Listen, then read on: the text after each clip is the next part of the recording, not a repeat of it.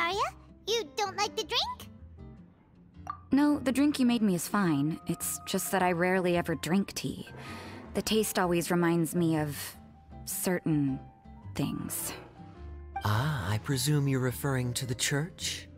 Yes.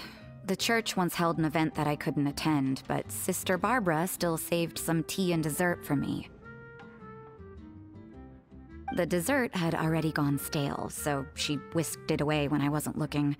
But the tea tasted just like this drink you made me. Boy, you're in rare form today, Rosaria. Sounds to me like Mondstadt's just gained another black tea lover. I'd prefer something a little